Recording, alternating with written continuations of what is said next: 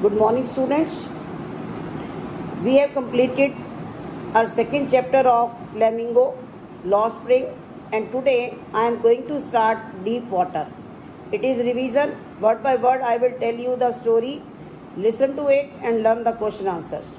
Deep Water by William Douglas. The writer narrates his experience. It is a biography. He was 10 or 11 years old when he had joined the YMCA swimming pool to learn swimming. He did not go to the Yakima River to swim as it was considered dangerous.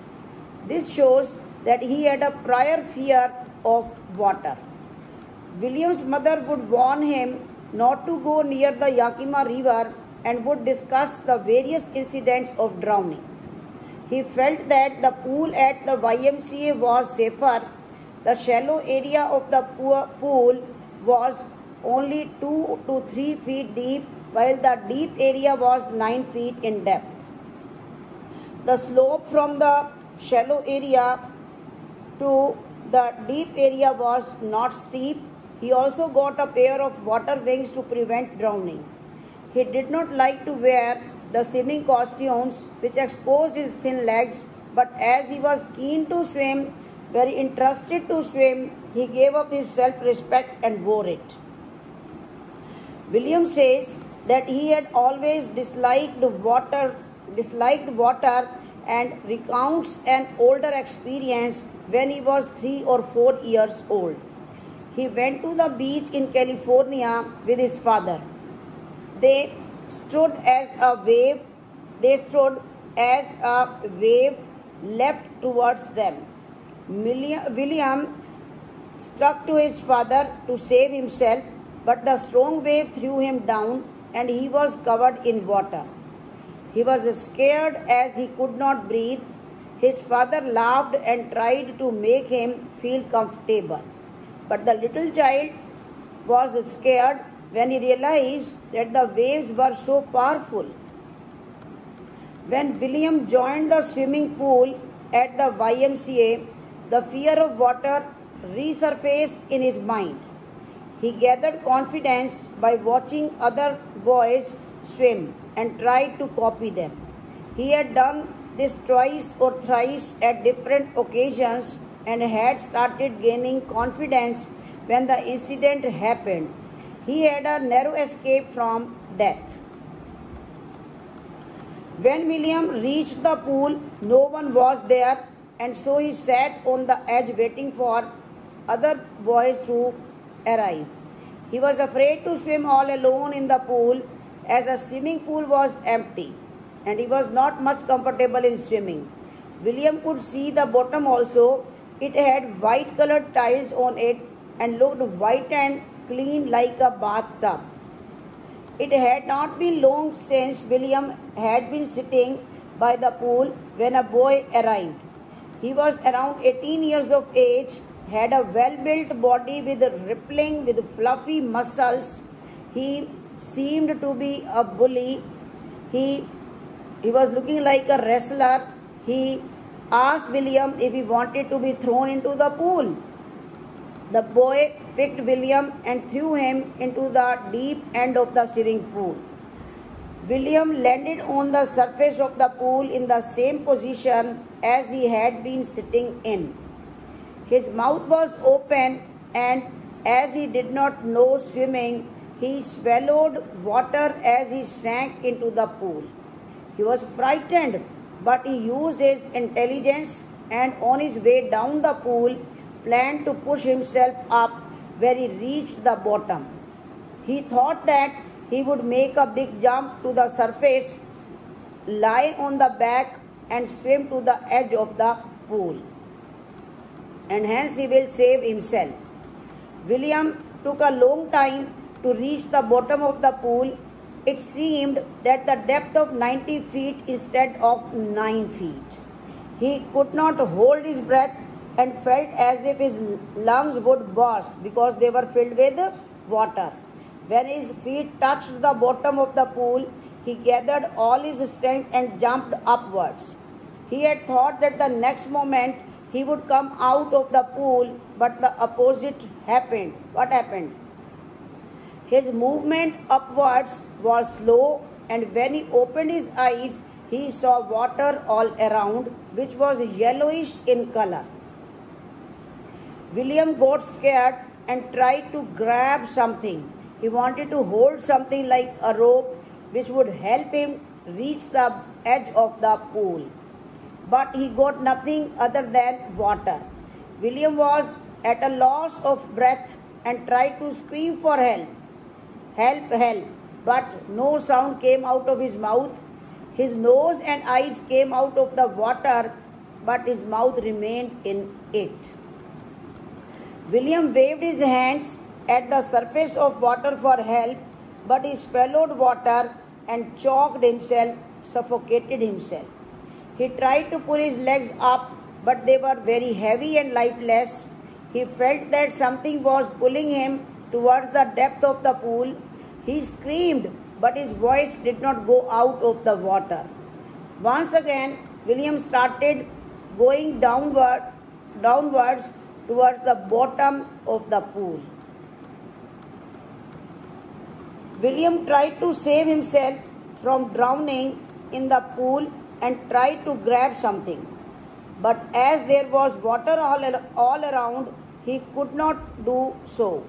He compares his situation to a person who sees a nightmare, a dreadful dream, and fights against the dreadful dream, but it but is unable to leave it to come it to come out of it. William was breathless. He felt pain in his lungs and his head felt a sensation of beating. He was getting unconscious, but he could recollect the plan to save himself. As his feet touched the bottom, he would take a jump and came up to the surface at a at first stretch. Then he would lie on the back, hit the strokes with his limbs, and reach the edge of the pool to safety. William sank into the pool, and the journey toward downward seemed endless. He opened his eyes. There was water all around. It had a yellowish glow, and he could not see through it. This terrorized William he says that his feeling cannot be explained, but it can only be understood by those who have experienced similar situation. He was screaming in the water. He was unable to move due to fear. His screams also froze. Only his heartbeat and the beating in the head indicated that he was alive. In between the phase of terror, William recollected the plan that he had to take a jump as he touched the bottom of the pool. As he felt the tiles of the bottom of the pool, his feet used all the strength he had and he jumped up. The effort went in vain. He was still submerged in the water. He looked around for help, for any rope, ladder, water wing, with the help of which he could rescue himself. He could only see water all around him. It was as if a chunk of yellow water had grabbed him. The terror grew intense. It was like an electric shock that ran through the whole body. He trembled with fear. He could neither move his limbs nor call out for help now. Something strange happened, and William saw light. His eyes came out of the water, his nose almost out of it. Then he started going down into the pool for the third time. He tried to breathe but gulped water instead. The light went out as he drowned again. Then he stopped making efforts to save himself and William Douglas relaxed. His legs became lifeless. His brain experienced a blackout. The fear ended. He did not panic. He became quiet and experienced peace only. He was not afraid of drowning anymore. He felt sleepy. He was tired to jump up and felt nice to be carried in his mother's arms as he felt sleepy. William became unconscious as he drifted away towards death. When William gained consciousness, he was lying on the stomach be, uh, beside the pool and was vomiting. He heard someone scolding the boy who had pushed him into the pool. The voice said that William had almost died and the boy replied that he was fooling with him, joking with him. The voice asked the boy to carry William to the locker room. After many hours, William walked home. He felt weak and shivered. He kept on crying as he lay on the bed. He was unable to eat food. The fear kept on haunting him, chasing him for many days. The incident made him physically upset. The slightest work made him feel that the knees were unable to bear the weight. He would feel like vomiting. William did not go to the swimming pool as he feared the water. He remained away from water. After some years, William came to know of a waterfall and wanted to go in it. Whenever he went for swimming in different rivers like the Tieton, Bumping River, Warm Lake of the Goat Rocks, the fear of water returned. It would grab him completely, disable his limbs, and grab his heart. The fear of water remained with William as he grew up. On the boating trips to different lakes in the Maine uh, region, New Hampshire, Deschutes, Metolius, Columbia, Bumping Lake, wherever he, he fished different varieties of fish, namely salmon, bass, trout, the fear followed him. His fishing trips were destroyed as he did not enjoy boating and swimming due to fear of water.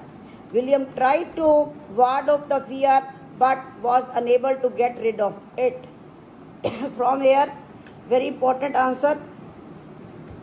Finally, finally, in the month of October, he hired an instructor, a coach to teach him swimming.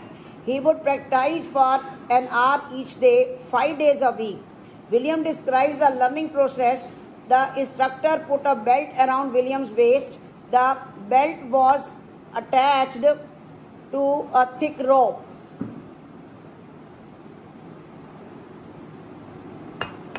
The rope went through an overhead pulley and was held by the instructor. It ensured that in case William drowned, the instructor would pull him out. William swam across the length of the pool for several weeks. Whenever the instructor loosened the ro- rope, he went down into the water and the fear would return. It would immobilize his legs. It was after three months of practice that William got comfortable. Then the instructor taught him to breathe in the water. He taught him to put his face under the water and exhale his breath. He was taught to raise his nose out of the water and inhale. William practiced several times, gradually got rid of the panic that would grab him when he would, his, would put his head under the water. In the third phase of the learning process, the instructor taught, it, taught him to kick the water surface with his legs. He did this many uh, uh, he did this for many weeks initially his legs did not move but gradually they relaxed and finally william could order them to kick in the desired way finally the instructor made a swimmer out of William in phases. When William had per- perfected each phase, he, complete, he compiled them. In the month of April, the instructor told William that now he could swim. He asked him to dive into the pool and swim the length of the pool in a particular style called the crawl stroke, slow pace swimming. William swam and the classes came to an end. William had not overcome the fear of fear yet and wondered if the terror would grab him when he would be alone in the water. He tried to swim alone in the pool. The terror returned in small phases, but now, as he knew how to swim, he faced the terror with confidence. He swam another length of the pool. William swam like this till this till the month of July, eh, but was not satisfied. He wanted to be sure that all of the fear had left him so he went to Lake Wentworth in New Hampshire, dived in, in it, into it from Triggs Island, swam for two miles up to Stamp Act Island. He swam in different styles crawl, breaststroke, side stroke, backstroke. The terror returned only once when he was in the middle of the lake. When he put his head under water, he saw water all around and the fear returned. This time, William laughed the, at the terror and said to it, that it could not harm him. He saw that the terror vanished and he resumed swimming. William still had some doubt about the fear, so he hurried towards the western direction. He went up the Tieton, reached Conrad Meadows, walked up to the Conrad Creek Trail to Midday Glacier. He camped at the meadow by the warm lake. The next morning, he wore the swimming costume and dived into the lake. He swam across it to the other end and returned just like the famous American dog Corporon used to do. William shouted with joy as he had overcome his fear. His voice resounded as, he, as the mountain peak named Gilbert Peak uh, it, and he had overcome the fear. The experience had a great importance in William's life. He realized that death was peaceful and only the fear of death was fearful. He recollects the words of one of the presidents of America, Roosevelt. Roosevelt had said that all we have to fear is fear itself. As William had experienced death and the fear of death, his desire to live grew immensely. He felt released from fear and was free to walk up the trails and climb up the mountains fearlessly. Thank you.